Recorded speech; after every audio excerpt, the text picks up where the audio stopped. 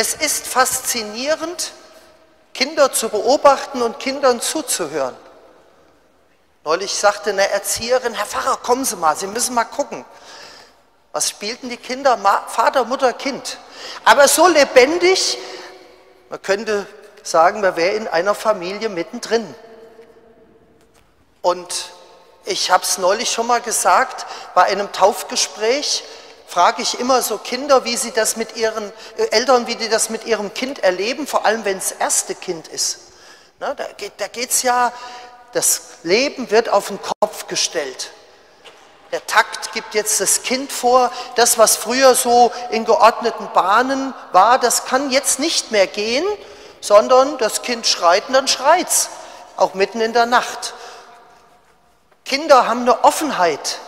Und ich sage das auch immer unseren Kommunionen, Katecheten und auch den Eltern, wenn wir uns auf den Weg der Erstkommunion machen.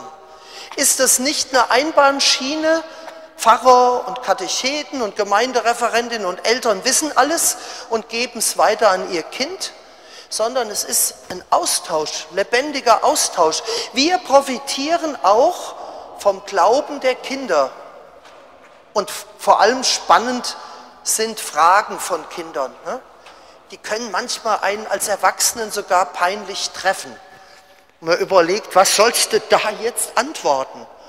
Es gibt einen guten Trick, Seien Sie einfach ehrlich.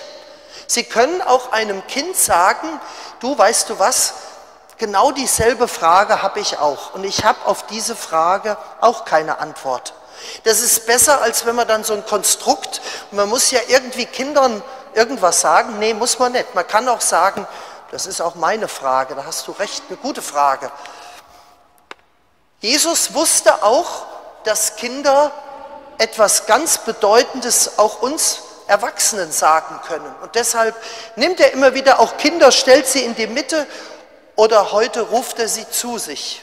Man kann auch die Jünger verstehen, die sagen, ach, jetzt ist er auf Pastoralreise und hat mal fünf Minuten Pause, jetzt lasst ihm doch mal die Ruhe.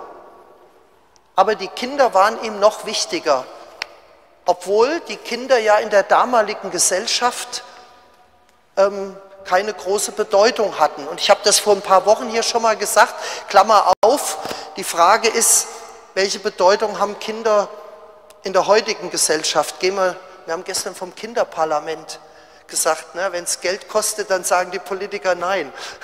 Also Klammer zu, müssten wir auch nochmal diskutieren, welche Bedeutung und Stellung haben Kinder in unserer Gesellschaft. Damals war es so, die waren am Rande. Und genau die nimmt Jesus und macht sie zum Exemplar für uns und zum Beispiel. Und drei Grundzüge sind vielleicht bei Kindern, die ich mal so aufzählen möchte, die vielleicht auch uns hilfreich sind. Kinder sind vorurteilslos und sind kontaktfreudig. Was man immer wieder an Kindern beobachtet, die gehen ganz unbefangen mit anderen um. Ja, wenn ich die Rita sehe, wenn ich an unsere Kinder in St. Josef denke, da haben wir alle Hautfarben, haben alle Sprachen und alles, aber das spielt keine Rolle. Die Kinder gehen ganz schwer, das ist gar nicht schwer, in Kontakt zu kommen. Von Kindern können wir das lernen. Und das ist nicht nur ein Punkt vielleicht für unsere Diskussion, wie gehen wir mit Fremden in unserem Land um, da hilft es uns auch, aber generell, wie gehen wir mit anderartigen Menschen um und wie können wir in unserer Gesellschaft miteinander umgehen und Kontakt aufnehmen? Von Kindern können wir es lernen. Zweitens, Kinder können vertrauen. Kinder sind, äh, die spüren genau, wer es gut mit ihm meint. Und wenn ein Mensch, ein Erwachsener es mit einem Kind gut meint, dann bringt ein Kind ohne irgendwelche, ne, wir wägen ja immer ab, kann man da und muss man nicht vorsichtig sein. Nein, ein Kind, wenn es spürt, ich bin da angenommen und geliebt und erfahre Zuwendung, dann ist ein, entwickelt ein Kind Vertrauen. Und dieses Urvertrauen, das ist ja ganz wichtig, das ist urangelegt. Eigentlich brauchen wir das auch als Christen. Ne? Ich denke manchmal, wie düster gehen wir Christen durch die Zeit. Wir müssten doch eigentlich das Vertrauen haben, dieser Gott führt uns durch diese Zeit, egal was da passiert. Er findet seinen Weg für uns und mit uns Menschen.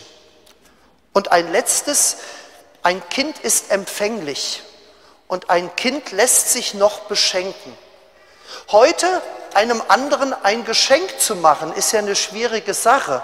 Und vor allem, man bekommt ein Geschenk und dann rattert es schon, was kann ich, wie kann ich das beim nächsten Geburtstag wieder gut machen? Ne, man muss ja genau dasselbe, am besten übertrumpft man das noch. Können wir uns eigentlich noch beschenken lassen? Ein Kind kann das. Ein Kind lässt sich beschenken und da zählt es nicht, was leiste ich, was bringe ich, was ist das mir wert, sondern in Offenheit lässt sich ein Kind beschenken. Und das will Jesus auch noch mal deutlich machen und das macht er uns deutlich für unseren Glauben. Wir sind Beschenkte. Gott liebt uns und Gott liebt uns nicht, weil ich die und die Rosenkranzgesetze oder die und die religiösen Pflichten erfüllt habe. Er liebt weil er mich liebt, so wie ich bin. Und ich muss nichts leisten. Ich werde nur geliebt, wenn ich was leiste. Ne? Hat mir neulich eine Frau gesagt. Ich habe kein Vertrauen. In meiner Kindheit musste ich mir das Geliebtsein immer verdienen. Pädagogisch schlecht, ne? wissen wir, was das auch in einem Menschen äh, anrichtet. Bei Gott brauchen wir keine Pflicht zu erfüllen. Er sagt, ich liebe dich und wir können uns das annehmen. Und der Weg ist umgekehrt. Nicht, weil ich religiöse Pflicht erfülle, bin ich von Gott geliebt, sondern weil Gott mich liebt, bin ich in der Lage, als Mensch auch für andere und für Gott da zu sein. Und wenn wir das von den Kindern immer wieder neu lernen, deshalb man sagt immer, äh, Kommunionvorbereitung ist Routine, Taufvorgespräch ist Routine, klar, da ist auch ein Stück Routine.